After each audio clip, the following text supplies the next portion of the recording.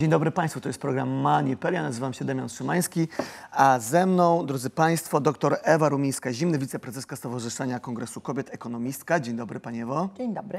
Karo Karolina Adrian, prezeska Fundacji Share the Care. Dzień, Dzień dobry, dobry. Pani Karolino. E, drogie Panie, jaka jest sytuacja kobiet na rynku pracy obecnie? Bo mieliśmy pandemię, już od pandemii zaraz miną dokładnie 4 lata. E, dużo osób pandemia uziemiła w domach. To też był problem jeszcze przed e, tym, co się działo w 2020 roku, ale czy Panie widzą jakieś zmiany pozytywne, negatywne, czy wręcz się nic nie zmieniło, jest jeszcze gorzej? Jak to wygląda z Pani punktu widzenia? No, może ja trochę y, skomentuję to. Myśmy jako Stowarzyszenie Kongres Kobiet przygotowali taki duży raport, żeśmy się przyglądali, co się działo na rynku pracy przez te ostatnie 4 lata. No niestety wiadomości nie są za dobre, a właściwie bardzo marne.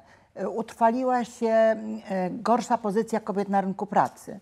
Od razu trzeba powiedzieć, że one w ogóle miały od początku jakby transformacji gorszą pozycję, to znaczy mniej były aktywne zawodowo, e, mniej kobiet pracowało w wieku, który normalnie kobiety są pracujące e, i mm, pracują na gorszych stanowiskach, niżej są opłacane, mają niższe emerytury.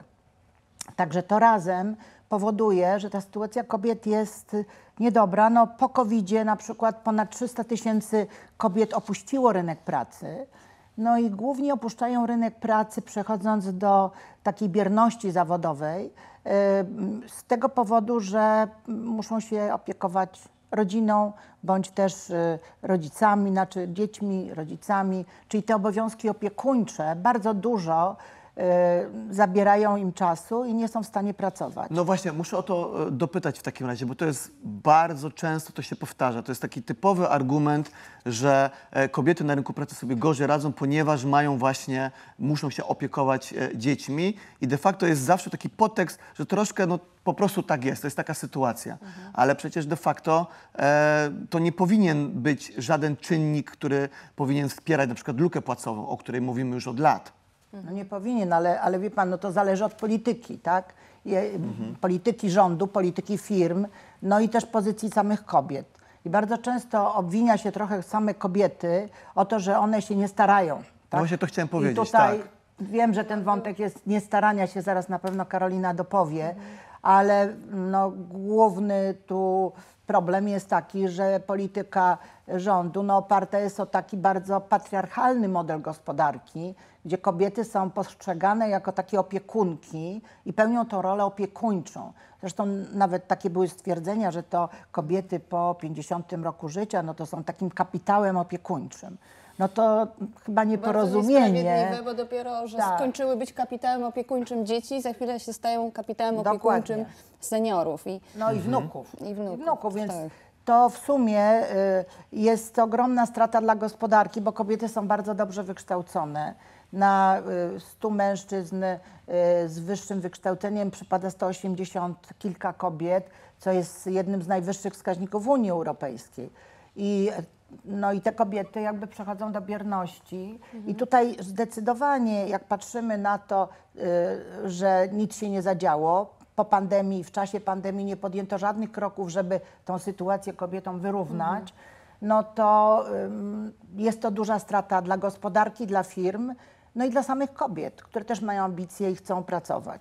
Naturalnie, że tak, tylko czy nie widzą w takim razie Panie problemu, który de facto jakbyśmy się zagłębili, to by, dokopując się do samego sedna tego problemu, to zawsze zahaczymy o dwie rzeczy, czyli o edukację i świadomość. Bo jak czytam z, em, z, z, z Pani raportu em, informacje tego typu, że 70% firm nigdy nie było, e, w 70% firm nigdy nie było mowy na temat nierówności płac, a e, w 80% różnych pracujących, pracowników w ogóle nawet nie wiedzą, co to jest luka płacowa, czyli ta różnica między zarobkami, między kobietami a mężczyznami na tych samych stanowiskach, no to o czym my tak de facto rozmawiamy. No tutaj rola właśnie tej całej inicjatywy edukacji przedsiębiorców i edukacji pracowników. Dlatego że y, żeby jakby domagać się swoich praw, trzeba troszeczkę więcej na ten temat wiedzieć, rozumieć te mechanizmy, a te mechanizmy wcale nie są proste, bo y, temat luki płacowej wcale nie jest taki oczywisty i tutaj y, no, taka edukacja ekonomiczna, której ewidentnie brakuje już na wcześniejszych etapach, no jest niezmiernie potrzebna, żebyśmy lepiej to rozumieli i mogli się domagać, bo jeśli my jesteśmy świadomi tej luki płacowej, to możemy egzekwować od swojego pracodawcy po pierwsze wdrożenia pewnych mechanizmów, które zapobiegają luce płacowej, a drugie e, eliminowania luki płacowej, która na 100% de facto jest, bo mm, nie ma przedsiębiorstwa, w której tej luki płacowej by nie było. Nie, no luka płac w Polsce wynosi y, przeciętnie około 20%. Ta luka skorygowana, która porównuje y, kobiety i mężczyźni, mężczyzn mniej więcej o tym samym profilu wykształcenia, stażu pracy i tak dalej. Na stanowisko kierownicze to jest prawie 30%. No to jednak y, jest to dużo, ale podstawą jest y, nie tyle no, świadomość, ale jest przede wszystkim wiedza, ile ta luka wynosi. No, u nas y, daleko posunięte jest takie przywiązanie do braku jawności płac, poziomu wynagrodzeń w firmach. I w związku z tym, no, jeśli nie wiemy, ile wynosi w danym przedsiębiorstwie luka płac, no to trudno nam dochodzić swoich praw. Czyli prawa mamy, ale nie możemy ich dochodzić. I no, temu między innymi służy nowa dyrektywa Unii Europejskiej, w sprawie ujawniania luki płac. No i to czeka polskich przedsiębiorców już niedługo, bo ten okres oczywiście wprowadzenia dyrektywy będzie trochę e, trwał. Mówimy o dyrektywie Work-Life Balance. E, Nie, mówimy teraz o dyrektywie dotyczącej luki płac, ujawnienia tak, luki płac, bo to jest jedna z takich trzech dyrektyw, które teraz właśnie wchodzą, e, wchodzą w życie. E, Jedna już weszła, o czym pewnie powie Karolina, natomiast e, e, ta akurat weszła już, znaczy jest już ogłoszona, natomiast powoli wchodzi w życie, no i rząd będzie musiał się do tego ustosunkować, ale również przedsiębiorcy. No i właśnie tutaj mm, nie wiem, czy jest to moment, żeby wspomnieć, że dzisiaj o 8 rano żeśmy, że tak powiem, nie spoileruję, bo to już jest w tej chwili nasza strona aktywna, równowaga.org.pl, gdzie ogłaszamy taki konkurs na pracodawcę równych szans, który, którzy respektują. On się nazywa Równowaga. E, Tak. I Konkurs na prokobiecą firmę roku. tak, tak, ale to chciałabym powiedzieć, że on jest inny niż wiele konkursów, które teraz się odbywają. My się Na czym ta cieszymy. różnica polega? No właśnie, my się cieszymy bardzo, że, że tyle jest tych konkursów, tylko mm, generalnie on- konkursy są takie, że to biznes nagradza biznes przeważnie, bądź też jest to bardzo wąskie grono, które jakby mm, działa w tym samym, w tej samej bańce troszkę. Czyli taki wianuszek wzajemnego zaufania, No, troszeczkę tak, tak że wyłamują ci, się z tego. Ci się znają, to są duże firmy Mhm. na ogół. Natomiast ten konkurs skierowany jest do wszystkich pracodawców, również na przykład do e, gmin, do e, miast różnych, które, które też są dużym pracodawcą i też stosują, bardzo wiele z nich już, te zasady polityki równościowej. Więc my staramy się zachęcić do zmiany w ogóle klimatu e, w polskich firmach, bo do tej pory duże firmy jakby były takimi trochę liderami zmian. I to bardzo wiele zostało zrobione, jest zrobione, jest w trakcie, także tutaj to się dzieje. Natomiast e, e, te mniejsze firmy, zwłaszcza z kapitałem polskim, no jeszcze są jakby na początku drogi. Czyli chcemy zachęcić e, Pokazać te dobre wzorce mniejsze, też po- między innymi. Pokazać trochę dobre wzorce i pokazać, że to można.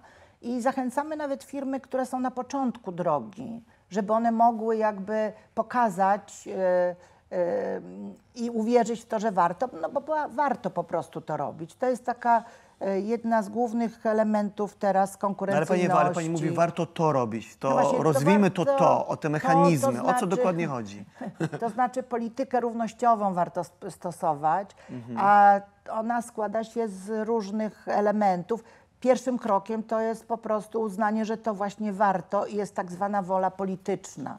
Czyli kierownictwo firmy musi uznać, że to ważne i nie będę spoilerować, ale powiem, że jednym z pytań na przykład, które tutaj mamy, to jest, e, czy decyzja, że równość w ramach firmy jest priorytetem dla, dla zarządu, dla władz firmy, jest znana wszystkim pracownikom.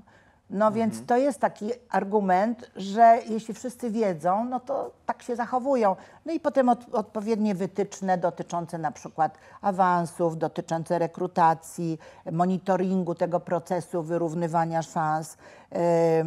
Użycie feminatywów też jest jednym z pytań, więc ja nie będę tutaj tej ankiety... Czyli nie pani prezes, ale prezeska. Tak, no prezeska, tak preferujemy, uważamy, że to pokazuje też pewne równościowe zasady.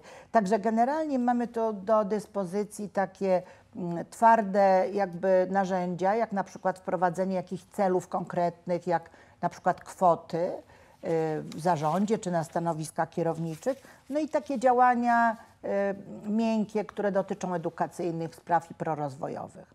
Także w sumie ten konkurs będzie obejmował pięć różnych obszarów działań firm. Jednym z nich jest właśnie ta polityka równościowa, która jest taka całościowa, ale mamy takie poszczególne obszary, y, właśnie między innymi zdrowie, poziom płac, y, ale również równowaga praca-dom. Tak, to ja w takim razie bardzo serdecznie zachęcam e, wszystkie firmy do tej inicjatywy. Teraz e, mam jednak pytanie, chciałem o to dopytać panią, panią Karolinę, bo właśnie e, praca dom, dużo, dużo kobiet nawet same o sobie mówią, że de facto, no właśnie problem polega na tym, że te obowiązki rodzinne, to co się dzieje w domu, bardzo mocno wpływa na karierę zawodową. To jest, pewien, to jest pe, pe, pewien truizm, ale ta bierność zawodowa kobiet rzeczywiście jest cały czas e, problemem i nie, zresztą nie tylko w Polsce. Unia Europejska się nad tym e, pochyliła i mam tutaj na myśli dyrektywę właśnie tą, o której już wspominałem, Work-Life Balance. Niech Pani troszkę więcej o tym powie i też wytłumaczy naszym widzom, czy Pani zdaniem w ogóle to coś zmieni? Czy takie wprowadzenie różnych dyrektyw rzeczywiście coś zmienia od razu, czy jednak to wymaga czasu? No tak, po pierwsze jest to pierwsza dyrektywa z tych dyrektyw równościowych, bo work-life balance, przejrzystość wynagrodzeń, parytety to są takie trzy dyrektywy, które bardzo działają w obszarze równości i to jest pierwsza dyrektywa, jedyna, która została wdrożona e, w Polsce po bardzo długim czasie e, pracy nad tym. Ja mam nadzieję, że doświadczenia, które, które e, ma zarówno rząd po pracy nad tą dyrektywą, jak i my i, i różne organizacje, które brały udział w e, pracy nad wdrożeniem e, zostaną przełożone na chociażby pracę nad tymi pozostałymi dyrektywami. Pierwszy wniosek trzeba się na te, na to, za to wziąć na pewno wcześniej, dlatego że dyrektywa, sam dokument dyrektywy to są ogólne wytyczne, które kraje muszą potem w pewnym sensie zaadoptować na swoim e, podwórku, w, swoim systemie prawnym, w swoim systemie I e, też prowadzić po prostu już te ogólniki w szczegóły prawne. Dokładnie. I teraz. Mhm. i, I teraz ważne jest to, że dyrektywę można wdrożyć lepiej lub gorzej, bo ona dopuszcza pewną elastyczność. I teraz sposób, e, w jaki, w jaki my to przełożymy na naszą sytuację w kraju, e, możemy to zrobić, że ta efektywność będzie większa tego, tego dokumentu lub też mniejsza. Stąd też konsultacje społeczne, konsultacje ze stroną przedsiębiorców, e, ze stroną społeczną są niesamowicie ważne, żeby ten efekt był e, jak największy. Tak, czyli same wytyczne tak, tak naprawdę niewiele dają, tylko to No to zależy od woli prostu- polityków, ile oni z tego po prostu wezmą. Ile wezmą, jak to zinterpretują. I teraz ta dyrektywa Work-Life Balance, ona weszła, e, ustawa wdrażająca weszła pod koniec e, kwietnia. No, czekamy e, na efekty. Na pewno, na pewno efekty będą, bez dwóch zdań, dlatego że ta dyrektywa po pierwsze zmienia sposób patrzenia na mężczyznę, znaczy uznaje mężczyznę jako równoprawnego opiekuna i, i na rynku pracy jako ojca, tak? Czyli, bo zawsze mówimy równowaga praca-rodzina, to musimy, mówimy o kobietach. To tylko tak jakby kobiety tylko były rodzicami, a mężczyźni e, nie wiadomo. Zgadza Oni są się, tylko tak, tak. niezastąp, niezastąp, znaczy pracownikami, którzy są zawsze obecni, zawsze dostępni i tak dalej. Więc ta dyrektywa w pewnym sensie nadając prawa ojcom, e, zmienia postrzeganie mężczyzn jako równoprawnych też ojców i jako pracowników, którzy mają do tego prawo. I tym samym to jest jakby, to są dwie strony tej samej monety, tym samym wyrównują szanse kobiet na rynku pracy, bo to nie tylko kobieta będzie e, osobą, która sprawuje opiekę nad dziećmi, więc myślę, że jest to bardzo dobre narzędzie. No i takim symptomatycznym troszkę przykładem jest tutaj to słynne tacierzyńskie, tak? Ile, ile osób, ile mężczyzn Mhm. zrezygnowało z pracy, żeby się właśnie opiekować tym dzieckiem. To pamiętam, jak to wprowadzono, to dosłownie to były jakieś e, procenty. To jest Takie 1% minimalne, i tak naprawdę mówimy o rodzicielskim, z którego mogą korzystać korzystać mężczyźni, to był 1% od samego początku i w zasadzie od momentu wdrożenia w 2013 to, jest, to był 1%. Jedyna zmiana w 2022 jakby liczba ojców na urlopie rodzicielskim utrzymała się na tym samym poziomie 3700 powiedzmy, czyli bardzo mała grupa, mimo spadku urodzeń, czyli powiedzmy, że został ten no, jakiś malutki ruch ku, y, ku takiej tendencji rosnącej. No i teraz dyrektywa wdrażając nietransferowalność, czyli urlop, który jest tylko dla ojców, którego nie możesz przekazać kobiecie, e, no, zachęci ojców do korzystania, chociaż tutaj rząd moim zdaniem nie zrobił wszystkiego, co mógł, dlatego że ustanowił odpłatność na poziomie 70%. W związku z tym ta odpłatność mogła być wyższa, ale z drugiej strony jest pole do popisu dla pracodawców, bo co mogą zrobić pracodawcy? Mogą uzupełnić tą, e, tą lukę finansową po to, żeby zniwelować barierę finansową w, korzystaniu z tych urlopów, bo jest to główna bariera. No właśnie, ale, ale mi się zdaje, że warto tu podkreślić, że e, te dyrektywy same w sobie niewiele zmienią.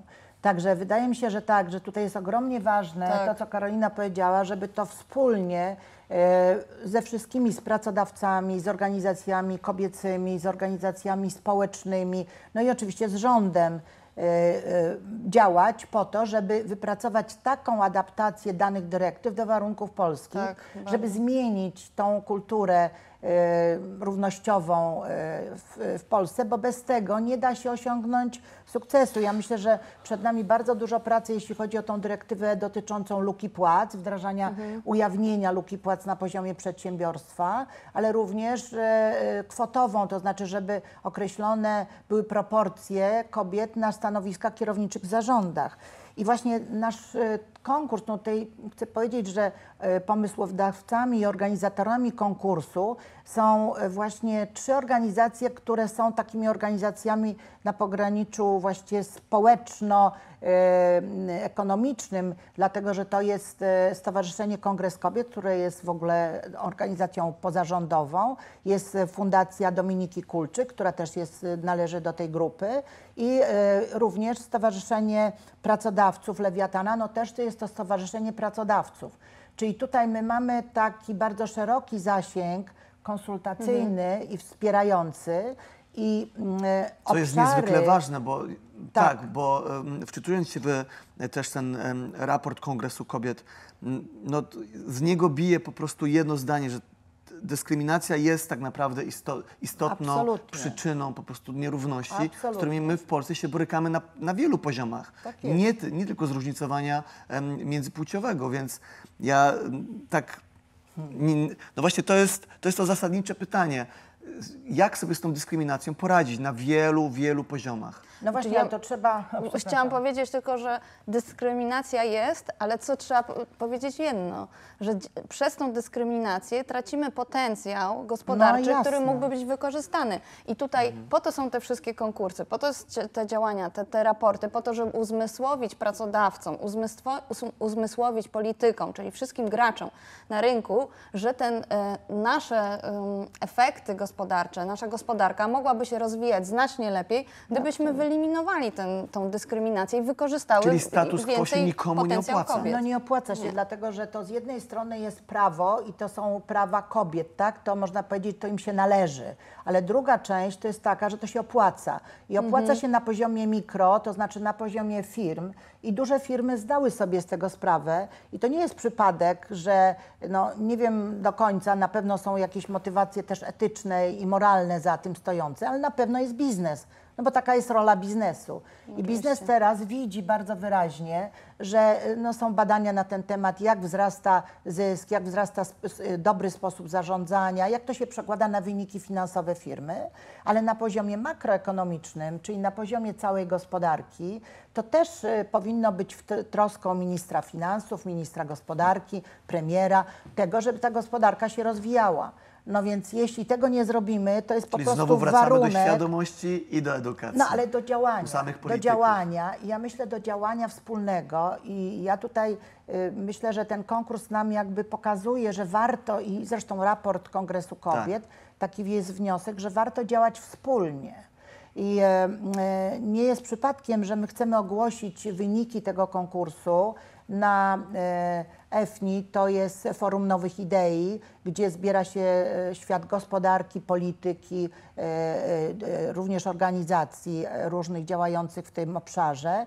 E, W Sopocie już w październiku, w 11-13 październik, a wcześniej będziemy dyskutować właśnie kwestie e, czy to łatwo jest tą równość przeprowadzać w firmach, czy nie? Jakie są różnice między dużymi i małymi firmami? Na Kongresie Kobiet, który e, będzie jubileuszowy, 15 Kongres Kobiet e, w Poznaniu 2-3 września, na który wszystkich zapraszam bardzo serdecznie, e, bo tam jest taka płaszczyzna bardzo, ja bym powiedziała, właśnie e, kobiety z całej Polski przyjeżdżają, oczekujemy ponad 3000 kobiet z różnych środowisk i z różnych opcji politycznych, punktów widzenia, ale wspólnie chcemy coś zrobić. Wydaje mi się, że to jest taki No to czas będzie też taki teraz. symboliczny moment przed wyborami. To jest absolutnie taki czas, że nie możemy tylko myśleć, że dyrektywy unijne coś za nas zrobią, że ktoś za nas zrobi. Musimy po prostu sami y, coś działać i proponować. I też proponować jakieś rozwiązania. No myślę, że no, mamy na przykład w zamrażalce sejmowej e, projekt ustawy o luce płac, o ujawnieniu luki płac, jaką przygotowało Stowarzyszenie Kongres Kobiet. E, I on jest jakby gotowy do pewnej adaptacji później y, w kontekście dyrektywy, bo ta dyrektywa była jeszcze nieznana w momencie, kiedy była e, przygotowywana ta No ustawa. właśnie, bo, naj, bo najważniejsze przecież jest, żeby to było w końcu wysłuchane. No, prawda? wysłuchane, przedyskutowane, wydaje mi się, Mhm. z różnych punktów widzenia, nie tylko samych kobiet, nie tylko samego rządu, nie tylko samych pracodawców, Mhm. tylko działanie wspólne. I To mam nadzieję, że, że ten nasz konkurs to trochę będzie jakimś małym krokiem do przodu. Więc ja również w takim, tak? Tym bardziej jeszcze, że To, co ten fundacja konkurs, robi, y, tak. tak. ten konkurs też dla, zachęcając małe i średnie przedsiębiorstwa, bo dokładnie. przecież jest to sektor, gdzie pracuje bardzo dużo Polaków, bardzo No to gro ważny jest sektor. zatrudnienia i gospodarki. że jakby wzięcie udziału w tym konkursie jest też takim szansą, żeby zrobić sobie jakąś analizę swojej e, firmy, żeby się nie bać, bo czas, często firmy Tak. się boją, no bo nie uda im się wygrać, nie uda im się być w tej czołówce, ale jest to szansa na to, żeby sprawdzić, gdzie my jesteśmy Tak jest. i na ile jesteśmy przygotowani i na Czyli dyrektywę, która weszła i te, które wejdą. zwycięstwem po prostu. Oczywiście. Myślę, że bardzo dużo. To jak mówię, nie jest taki konkurs piękności, żeby dostać statuetkę i pokazać się, zrobić selfie i, i zakończyć, że tak powiem, e, e, ten, mom, ten etap i sobie postawić na półce. To jest raczej rozpoczęcie debaty na ten temat i takie działania edukacyjno-świadomościowe e, i dopracowywanie tego, jak to zrobić. Bo my na przykład wiemy, że ten konkurs będzie inaczej. Mamy zresztą dwie grupy tutaj. i To jest mniejsze firmy, poniżej 100 zatrudnionych i te duże firmy. No bo gdybyśmy dali wszystkie w jednym, y, to niewątpliwie nie byłoby szans dla tych mniejszych firm. No, o, no bo duże tak, no firmy bo te robią, większe, one już mają, że tak one powiem, mają doświadczenie praktykę, tak. i dużo, dużo robią i, i dużo To fajnych ja w takim razie robią. od siebie mogę tylko tyle powiedzieć, że również apeluję o tą wspólnotowość i o debatę, bo zawsze warto rozmawiać, jak to Bardzo mówił klasyk. rozmawiać. Bardzo Paniom dziękuję, to jest bardzo dobra puenta. Doktor Ewa Rumińska-Zimny, wiceprezeska Stowarzyszenia Kongresu Kobiet, ekonomistka. Bardzo dziękuję Pani Ewo. Dziękuję bardzo. Karolina Adrian, prezeska Fundacji Sherdecker. Pani Karolino, kłaniam się nisko. Bardzo dziękuję. Dziękuję. Drodzy Państwo, to już jest koniec naszego programu. Dużo zdrowia Państwu życzę. To był program Mani.pl. Damian Szymański. Kłaniam się. Do widzenia.